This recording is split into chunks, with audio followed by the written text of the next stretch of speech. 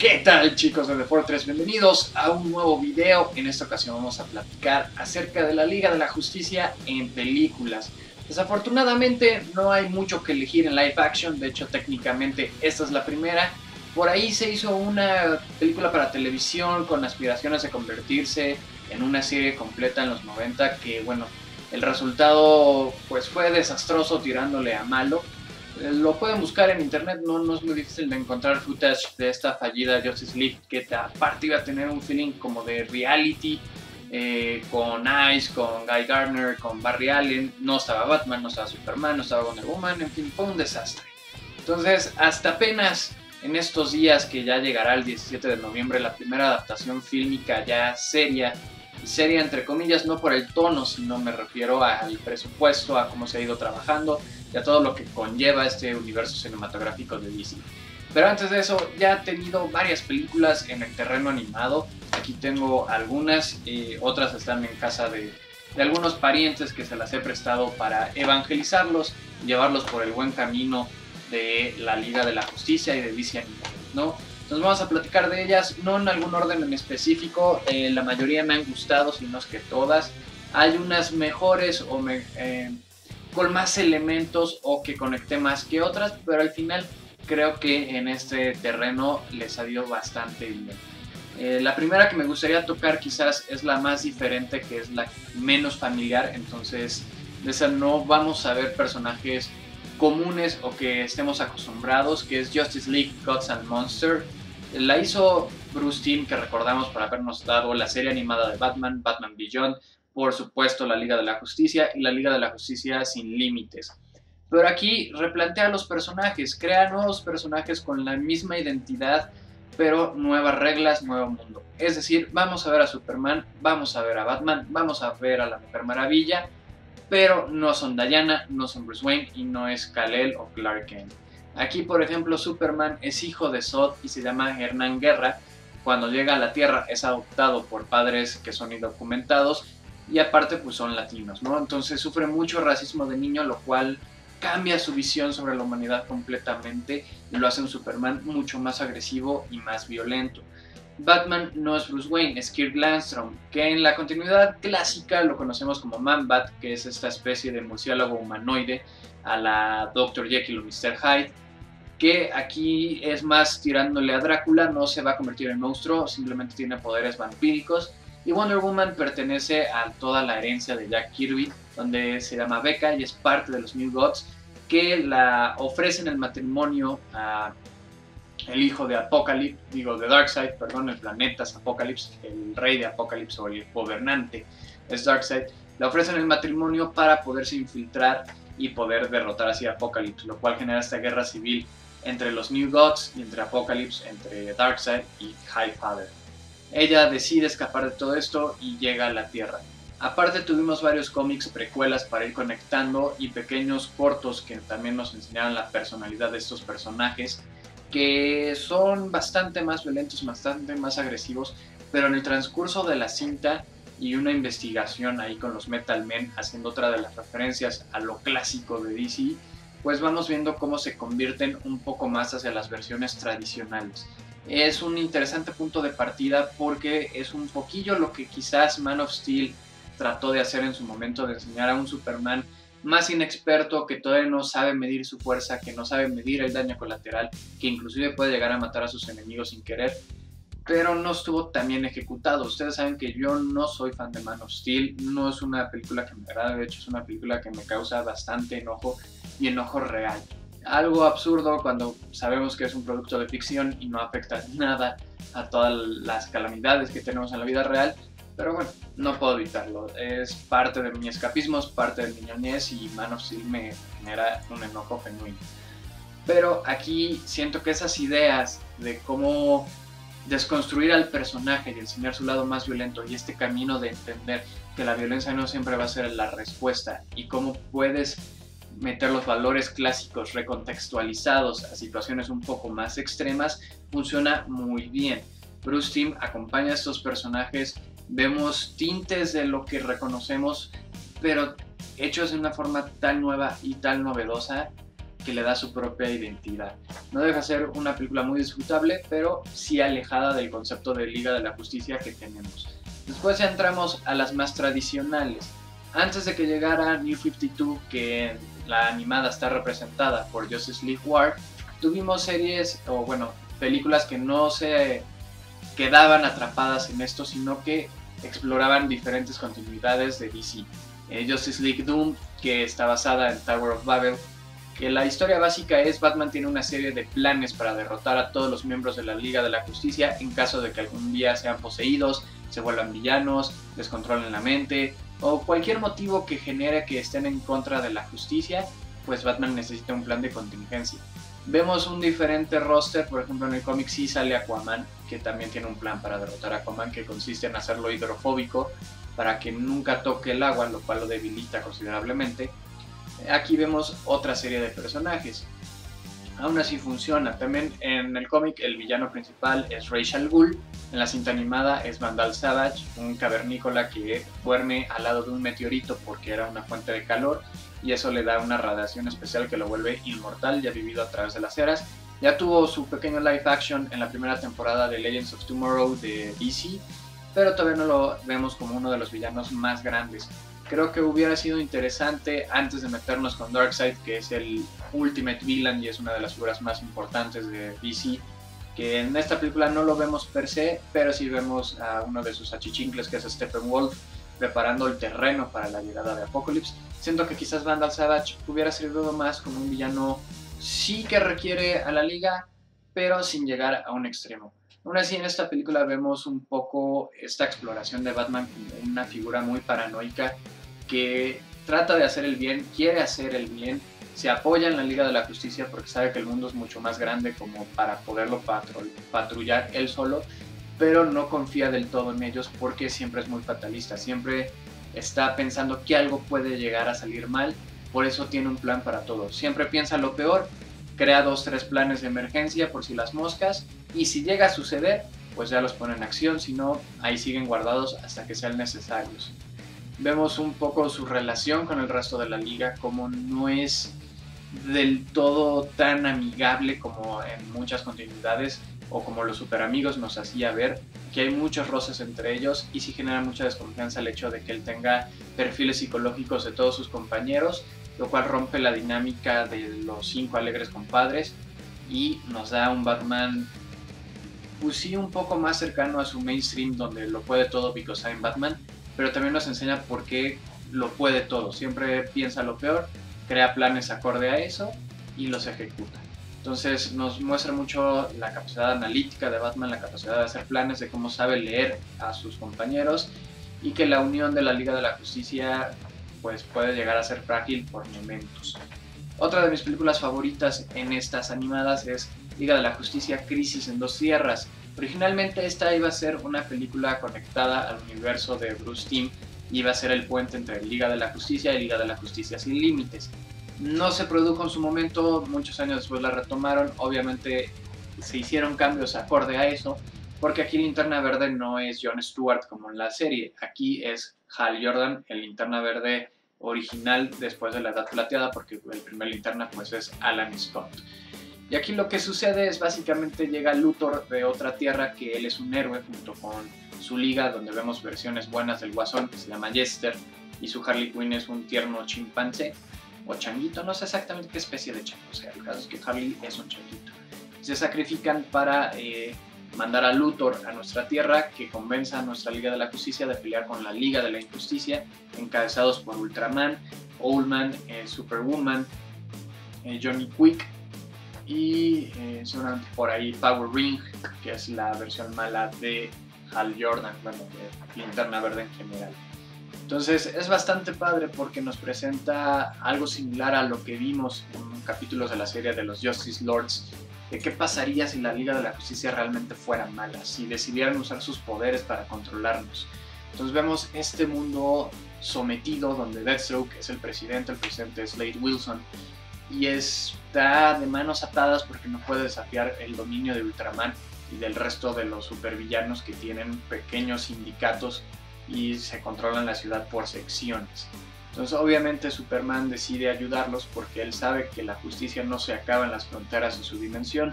Batman está un poco más renuente porque como saben él se preocupa más por su situación inmediata y no quiere desviar recursos o dejar de construir la Watchtower para ir a salvar una dimensión alterna.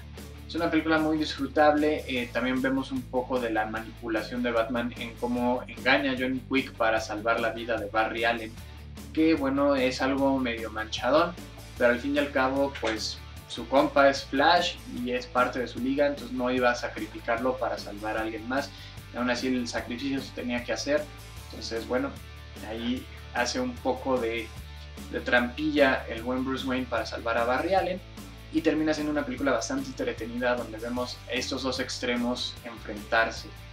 Eh, también tenemos por ahí ya una, creo que mi favorita, o yo sí la pondría en el top, que fue, con esto terminamos las continuidades tradicionales o las continuidades alternas antes de que se vuelva una narrativa lineal, que es Justice League The New Frontier, basada totalmente en el arte de Darwin Cook, que inclusive sirvió como eh, consultor durante la hechura de esta película, que es una carta de amor a la época dorada de los cómics. Vamos a ver versiones de los héroes que se sienten clasiconas, es como volver a ir hacia los 50, hacia los 60 y ver estas versiones eh, primordiales de los superhéroes, que fue cuando estaba empezando este género, cuando ya se estaban asentando quiénes iban a ser ya no está Jay Garrick, entonces ya más la edad plateada porque no está ni Alan Scott ni Jay Garrick. Ya vemos a Barry Allen y a Hal Jordan. Vemos una Wonder Woman un poco más agresiva. Eh, Superman se pierde un rato en la película, pero funciona como el génesis de la liga. Cómo se conocieron, a qué pelearon. Diferente a su primera aventura en el cómic que fue contra Starro, que tiene su referencia en la película, pero aquí la trama es este ente llamado el Centro, que es una crea una isla donde habitan dinosaurios y decide que los humanos son una plaga y tiene que eliminarnos porque hemos crecido en número y en poder y en capacidad destructiva. Entonces los superhéroes obviamente tienen que enfrentarse a esto. Lo resuelven con ciencia gracias a Ray Palmer, el átomo y a la ayuda de Flash y logran rescatar a Superman porque obviamente no puede haber una liga de la justicia ante Superman contrario a lo que el marketing del live action nos haya hecho pensar. Superman es una pieza clave entonces ver cómo se empiezan a acomodar, ver toda la importancia que tiene John Jones, conocido como el detective marciano, que también ha sido ignorado brutalmente en el DCU y en, en este live action. Aquí sí lo vemos también como uno de los ejes que ayudan a que la liga se reúna y cómo aprende heroísmo a base de seguir a estos superhéroes, sobre todo la figura de Superman, cómo altera su forma, que es uno de los poderes marcianos, poder cambiar tu forma, para verse más heroico. También en Crisis en Dos Tierras tiene un papel muy importante al ser el contacto entre la Liga de la Justicia y Rose Wilson, que generalmente es una villana conocida como Ravager, ser la segunda Ravager, hija de Slade, pero aquí es la hija del presidente y es el contacto. Entonces vemos como John Jones tiene un peso bastante grande en estas cintas animadas que en el live action pues técnicamente no existe, pero supongo que hasta que no digan tal cual que no existe el personaje, pues siempre va a estar la esperanza de que le hagan alguna referencia. Y finalmente llegamos a Justice League The Flashpoint Paradox, basada en el cómic de casi el mismo nombre, ahí nada más Flashpoint Pelón, que lo que tiene es una aventura de Flash básicamente que repercute con todo el universo DC.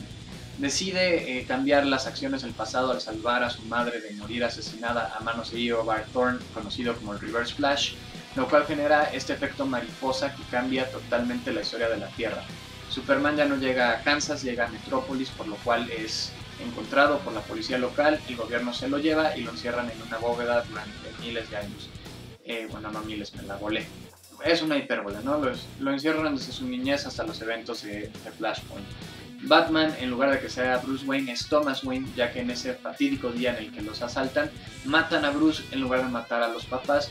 Entonces Marta se deschaveta y se convierte en el guasón de este universo, y Thomas se convierte en un Batman pistolero mucho más agresivo de lo que era Bruce.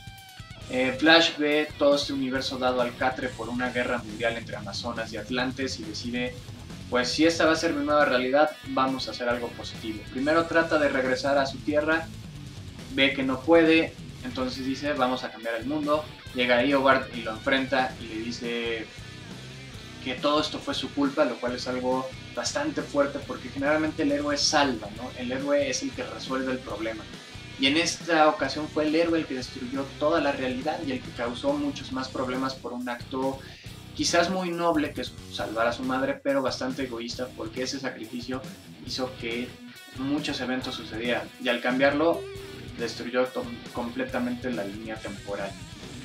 Y cuando regresa, porque bueno, tiene que reconstruirla, sabemos que así funciona, quizás sea un cliché y predecible, hasta cierto punto un spoiler, pero sabemos que los héroes al final terminan ganando de una u otra forma, aunque sea muy Deus Máquina, pero logra restaurar la línea, solo que no regresa o no la restaura a su estado original, sino que crea este nuevo universo que en las películas animadas empieza con Justice League War que es básicamente el primer arco de New 52, del 1 al 6, que es un nuevo origen de la Liga de la Justicia. Ahora en lugar de enfrentarse a una estrella de mar gigante o al centro, al centro con sus dinosaurios, se enfrentan a Darkseid mismo.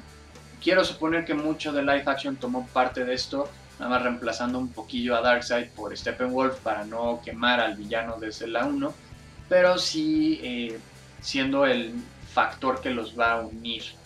Eh, obviamente Superman ya trae otra personalidad, Batman funciona casi igual, haciendo mucha burla de Hal Jordan, porque Hal Jordan es más como Cocky.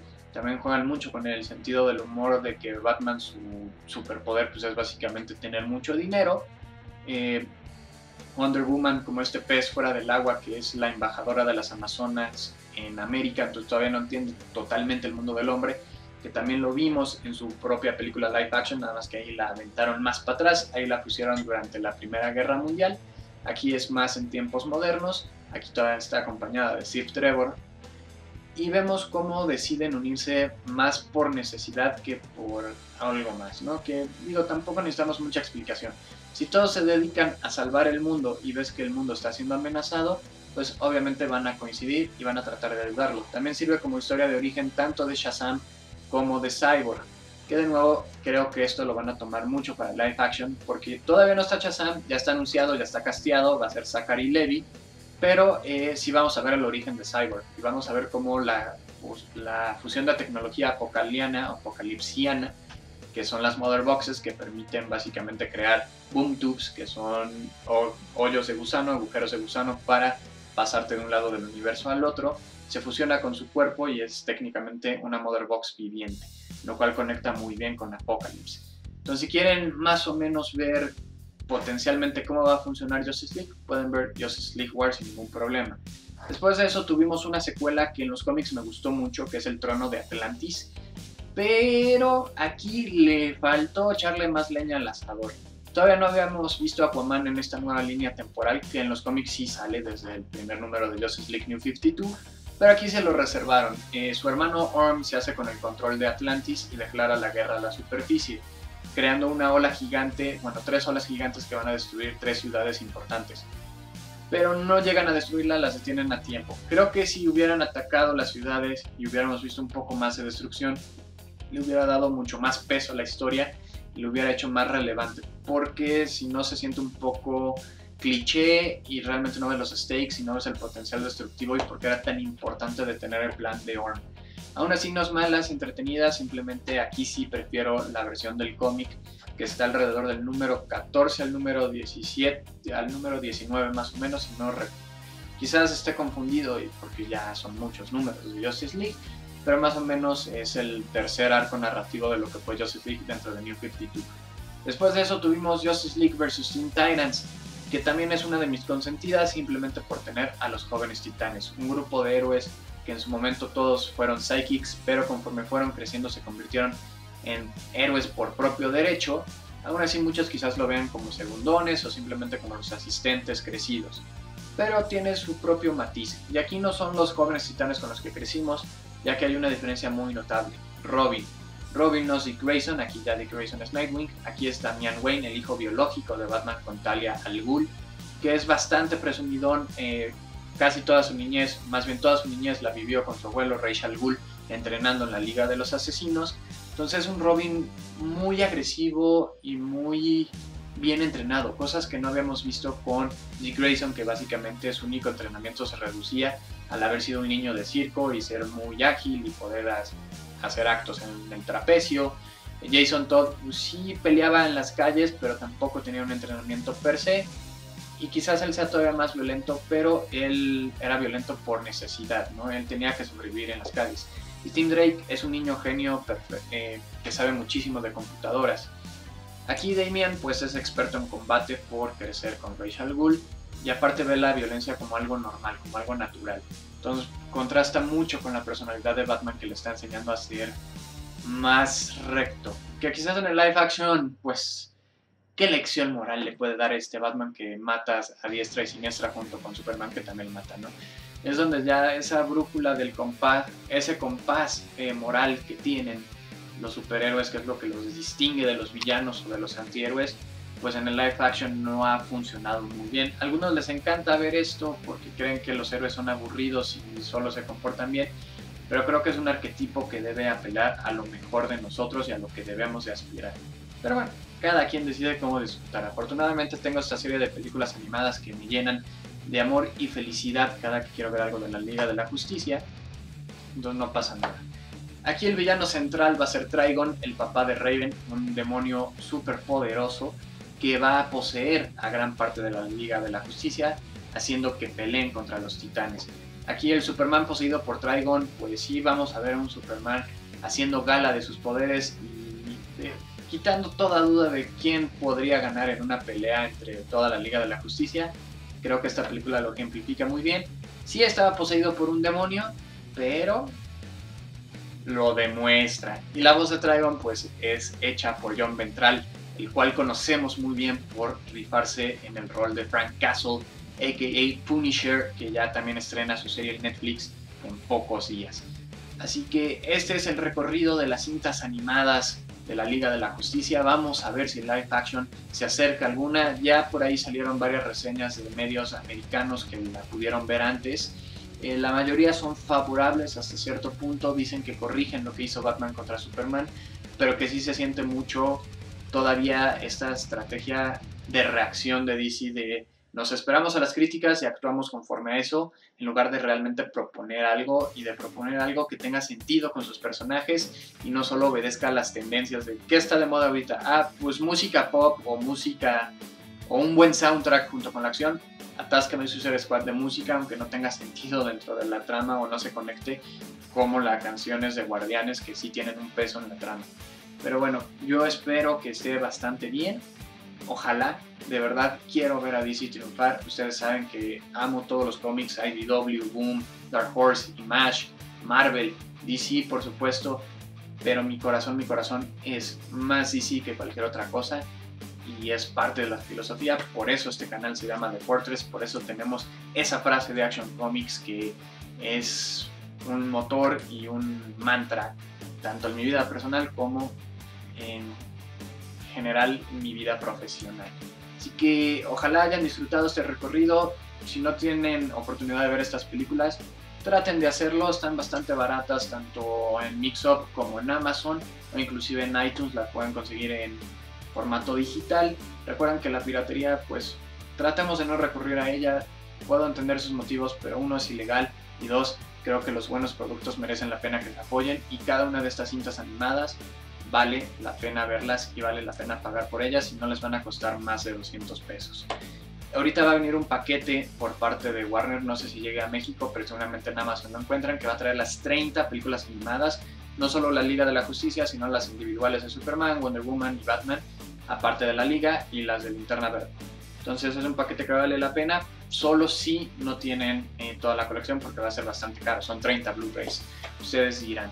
Eh, mañana nos vemos para otro video en este conteo hacia la Liga de la Justicia. Mañana hablaremos precisamente de Justice League New 52 y Justice League Rebirth, los primeros arcos para ver en qué está la liga actualmente, cuál es el origen más moderno antes de que llegue un nuevo Recon o llegue una nueva crisis o llegue un nuevo universo. Nos vamos a checar cómo están esos y el viernes eh, pues ya tocará la reseña de Justice League a ver cómo nos va. Así que chicos, eh, suscríbanse, es gratis, eh, para que siempre les lleguen los videos, activen la campana de notificaciones y quiero leer en sus comentarios qué película de la Liga de la Justicia les llamó más la atención, qué esperan de live action, cuál de estas animadas les gustaría que sirviera como base o les gustaría ver adaptada próximamente en un live action, cuál ha sido su favorita, cuál es su menos favorita, todo lo que ustedes quieran platicar acerca de la Liga de la Justicia, la caja de comentarios es absolutamente suya. Nos vemos mañana para hablar de Justice League en cómics y nos vemos el viernes para la reseña de live action. Bye bye.